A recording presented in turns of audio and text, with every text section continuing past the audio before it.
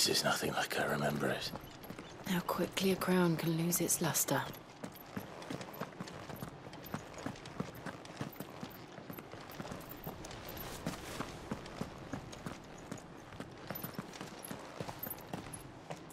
Not abandoned then. Oi! Visitors!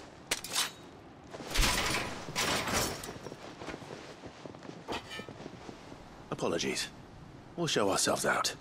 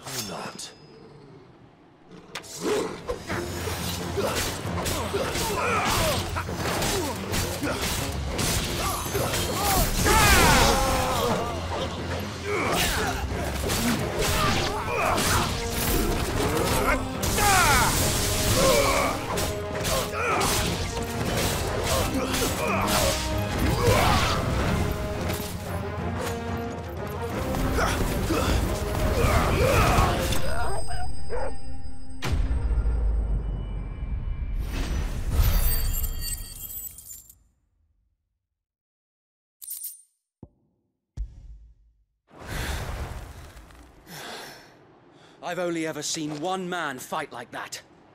And he's long dead. Then perhaps it's time you joined him. The blessing of the Phoenix. It can't be. I was there when you died.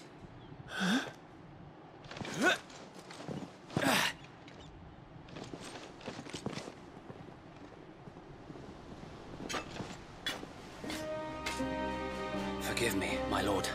I knew not whom I addressed. You have naught to fear from us. Founder, it really is you.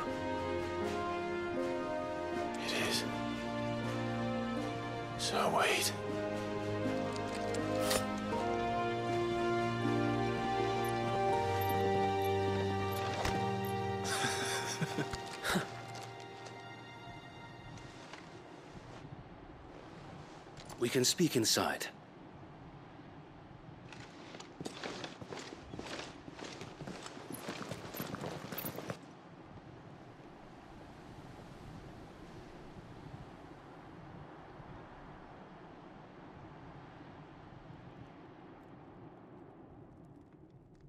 And those who wouldn't bend the knee? We left before the Empire could make examples of us, though we didn't go far. And we banded together to form the Guardians of the Flame soon after. Alas, there is only so much a handful of aging shields can do against the might of an empire. But we've seen to it that their stay has been anything but pleasant.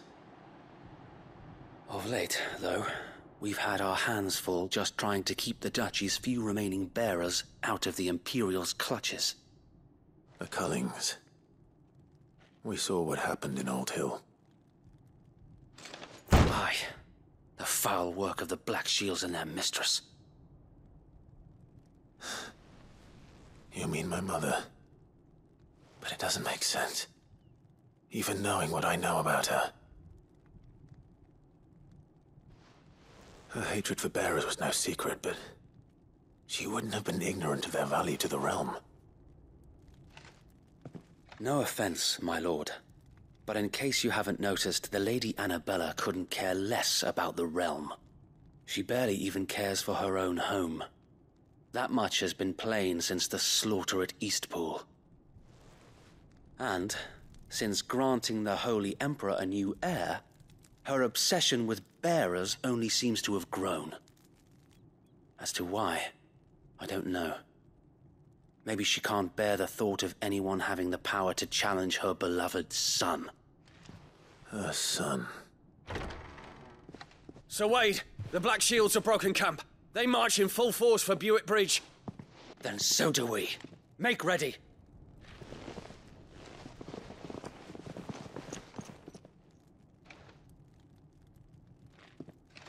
This is their main host. If we remove the head, perhaps... Perhaps we can prevent what happened at the docks from happening somewhere else. If I do nothing, then the blood of their next victims will be on my hands.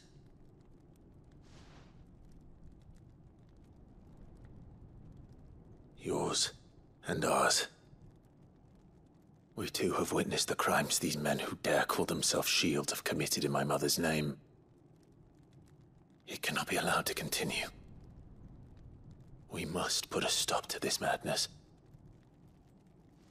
We must. So let us go with you. For the good of Rosaria. I was hoping you'd say that. Very well. If that is your wish, I would be honored to serve at your side.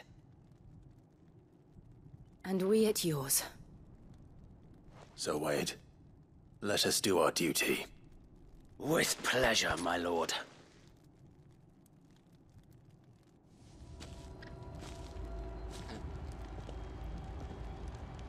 I imagine this endeavor will require more than just our wits.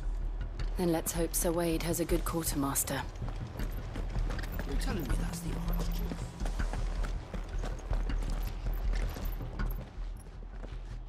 Tell us then, Sir Wade. What is your plan? Nothing fancy. You, Lady Jill and I make for Buett Bridge, and provoke the main host at their encampment. Sensing an opportunity to end the Guardians, the Black Shields will call for reinforcements, who will be met from the rear by parties of my brothers hidden throughout the surrounding hills. This will allow us to wage battle on the bridge without fear of being overwhelmed. While the Black Shields have an advantage in numbers, you see, they prefer to fight in small units, which we can use to our advantage. How small exactly? Small enough, now that I have you and Lady Jill for company. I doubt I could have done this on my own. But until we arrived, that was your plan.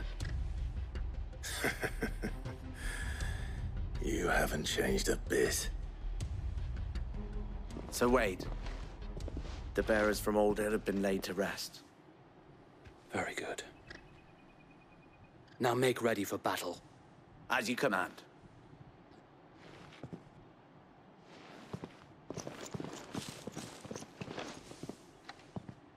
Thank you, Sir Wade. Perhaps now they will find peace. There is but one thing which will grant them peace. Putting an end to the Black Shields. And so we shall.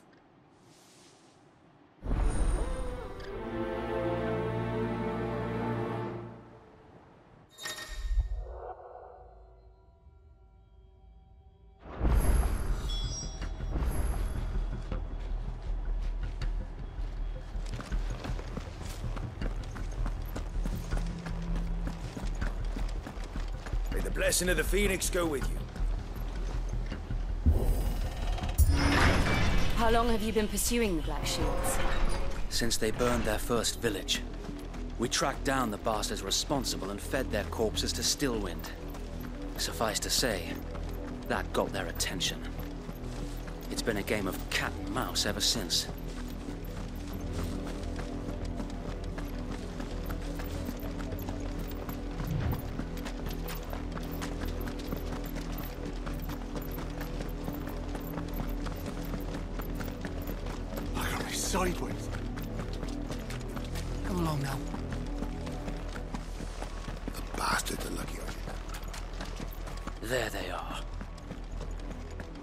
Command, my lord.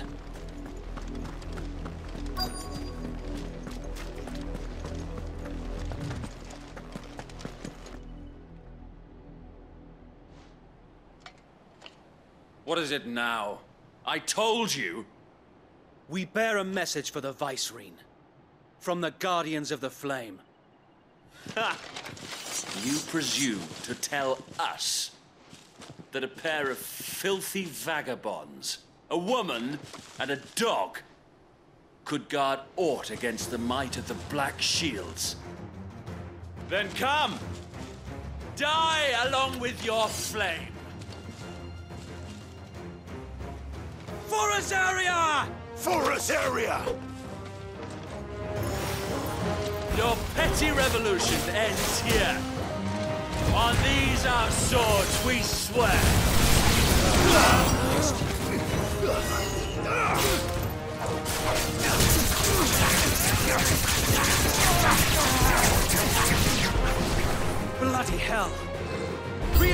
From the far bank! Another wyvern to fight their battles for them.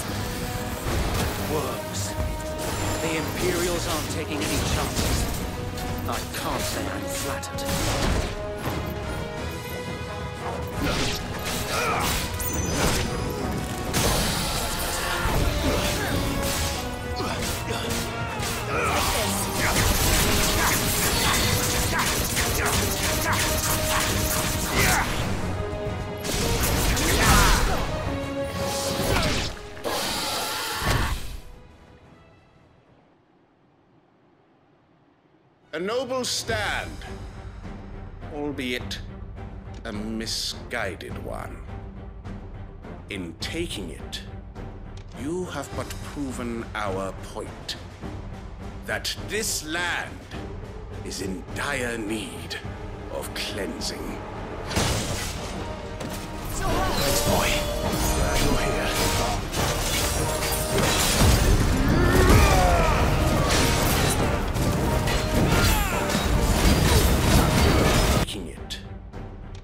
Have but proven our point that this land is in dire need of cleansing.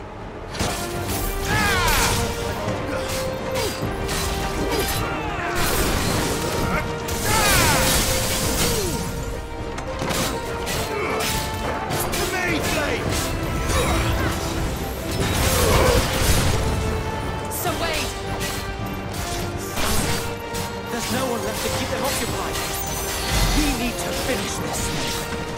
finish him.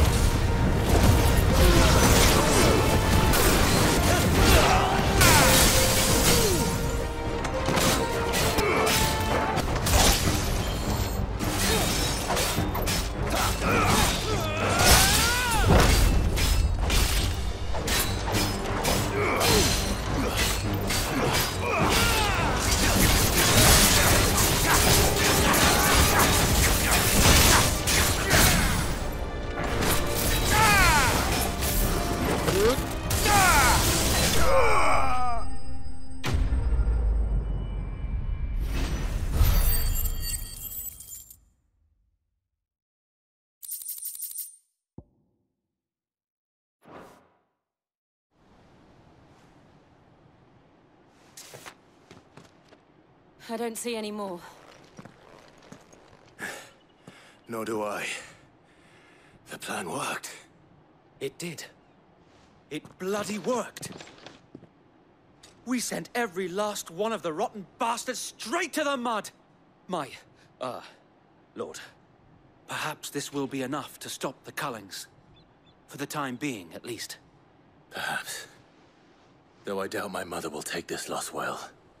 She'll move swiftly to see her minions' ranks replenished. And then it will all begin again.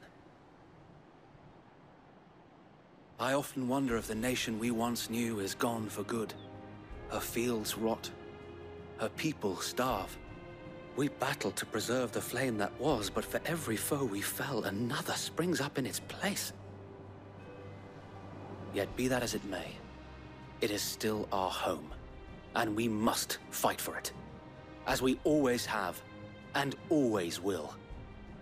For as long as the Firebird's flame burns in our hearts, the Duchy cannot die. And her loyal subjects may dream of a day when the Rosarian standard flies over Rosalith once more. So wait, I... Think we should fall back to Port Isolde before the garrison sends reinforcements? A sound strategy, my lord.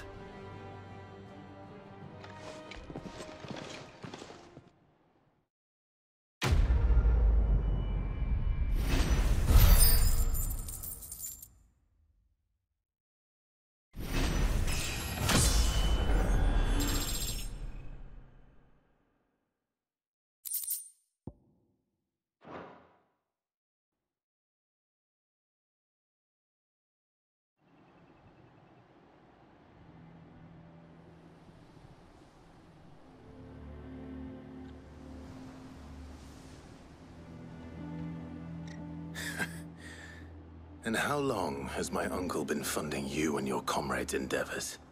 Since the beginning. Lord Byron was the first person I turned to after forming the Guardians. And had I known of this tunnel back then, I wouldn't almost have been hanged by the city guard for trying to sneak over the wall. I suppose a formal request for an audience would have appeared suspicious. And appearances must be maintained. Were the Vice Regency to catch wind of Lord Byron's involvement in our movement, they'd seize his estate and send him to the gallows, where he would be of no use to anyone. And so, though it sickens him to the soul, he plays the part of the loyal lord, knowing that one wrong move might prove his downfall. It is why he remains ever vigilant. Don't be surprised if he refuses you an audience, especially since you're famously dead. Then I will have to think of a way to prove that I am neither wraith nor wrongdoer. I might have something which could help with the latter. It's the Mark of the Guardians. Display it, and those who love Rosaria will know where your loyalties lie.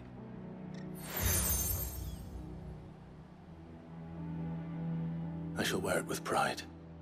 Be sure that you do. I don't want my men attacking you again. Unless you deserve it. If only Sir Tyler could have been here to see you. Or the Lord Commander. Thank you, Sir Wade. If there is ever anything you need. I know. Go on now, my lord.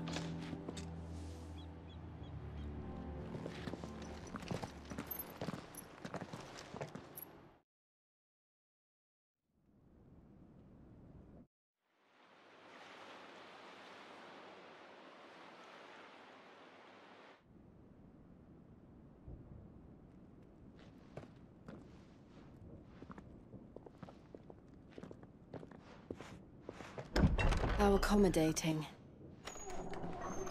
Do you really think they believe we are who we say we are? Not a chance.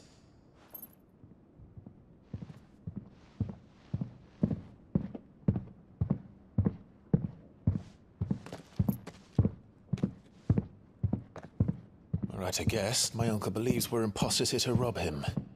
And means to string us up himself.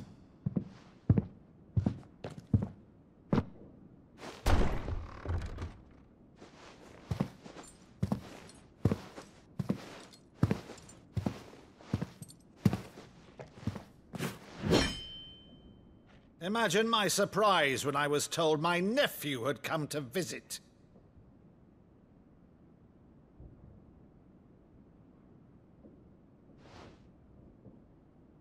Clive Rosfield died long ago. And for uttering his name here, you shall pay with your tongue!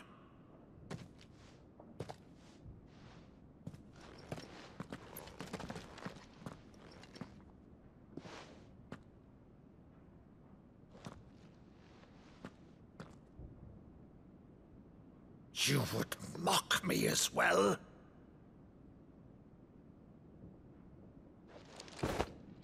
It is I, Sir Crandall of Camelot, loyal servant to Her Serene Holiness, Saint Sybil the Unshod.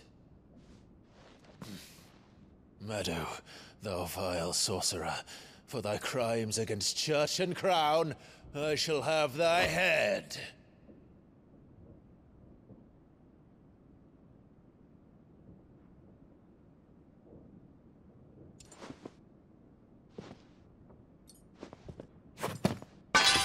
Curse thee, uh, infectious flax wench.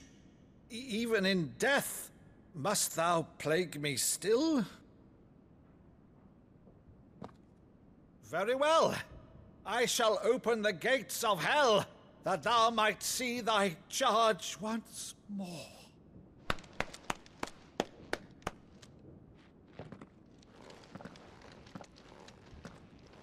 Bravo, Uncle. You're still the finest Maddo in the twins. Oh, oh, Clive, my dear boy, it's really you.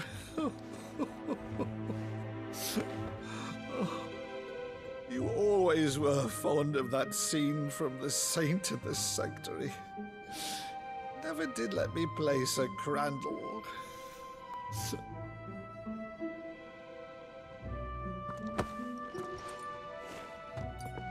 have a favor to ask, Uncle Byron. Rutherford, inform the kitchens. There'll be guests. We dine immediately.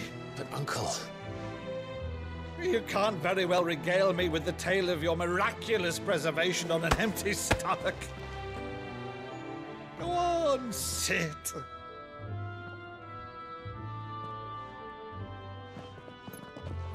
See that you use the good plates, Rutherford.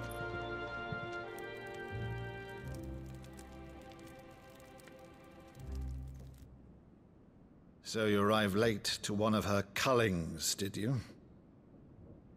Since becoming Vicereine, Annabella has been a constant thorn in Rosaria's side, but these atrocities are a new low. Something has changed. Quite what, I don't know, but the woman we knew is gone, and a monster sits in her place. A monster. For better or worse, I've been charged with governing this town, and thus must maintain the illusion of obedience. That's all I can do to aid Wade and his merry band of revolutionaries.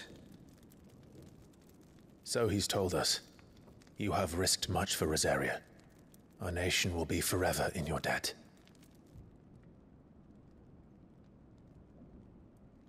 It has been twenty years, Clive. The nation your father and your forefathers fought to defend is no more. Perhaps it would be otherwise had I the courage of my brother.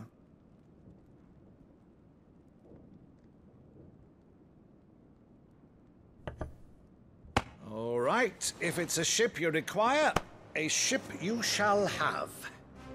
I've a galley in port, but recently relieved of her cargo. She can be outfitted for the voyage in a matter of weeks. So you believe us then? About everything? Believe you? Ha! Only a fool would believe even half of the things you claim. But until tonight, only a fool would have believed my nephew still lived. And besides, I have it on good authority that Clive is telling the truth. Whose authority?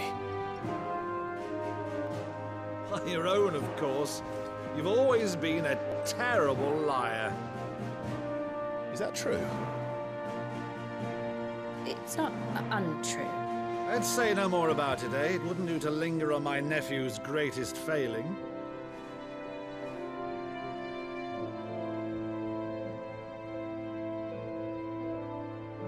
The one thing I cannot believe, though, is all this about you being Cid. You were always such a good boy, but now you're quite the outlaw. Which, if I'm not mistaken, would make me an outlaw's uncle. right then, who shall we pillage first? Rutherford, fetch me my cutlass. This will be fun.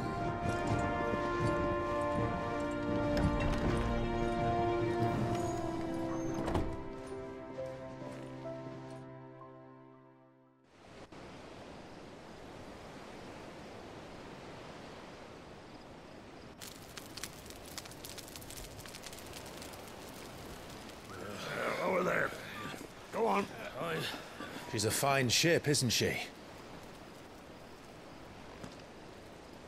Once outfitted, she'll bear us across the boiling sea to Drustinus in the space of three days.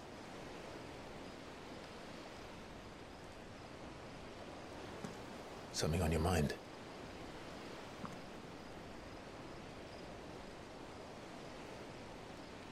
Monsters. When I served the Iron Kingdom, I,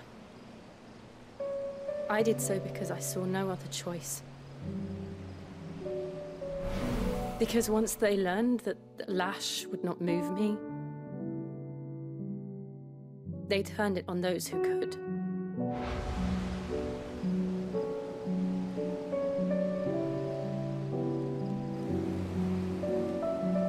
And so I became their puppet.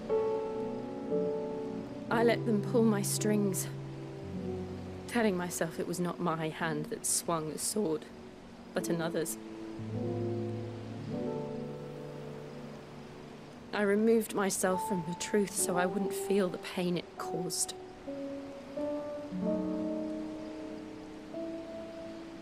And before I knew it,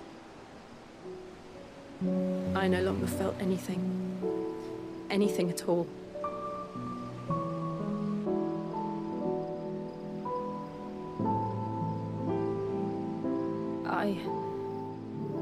Had become a monster. Jill.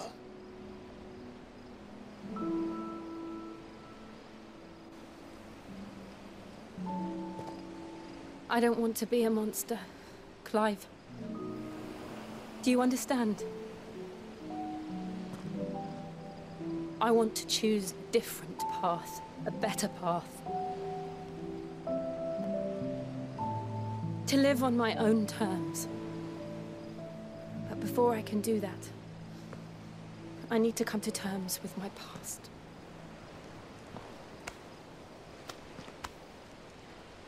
And when you do, I'll be standing there with you, just as you stood with me.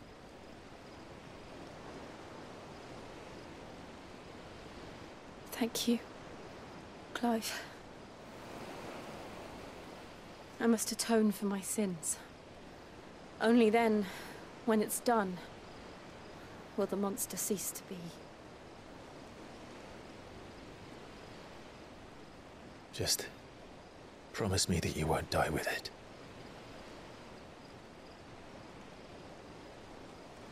Now, let's get some sleep. The journey back to Benamir is long, and there is much to tell the others.